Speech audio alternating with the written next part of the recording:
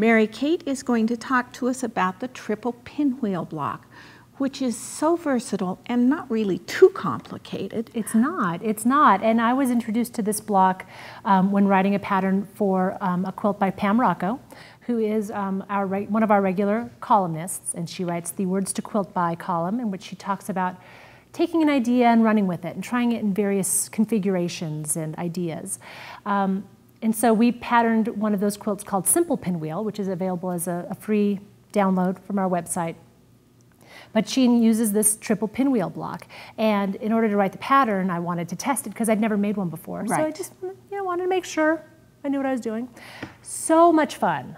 Um, of course, we always, you know, we have a pattern, but this is a block, if you keep a couple of um, things in mind, it will be very easy to size it up, size it down, make with it what you will.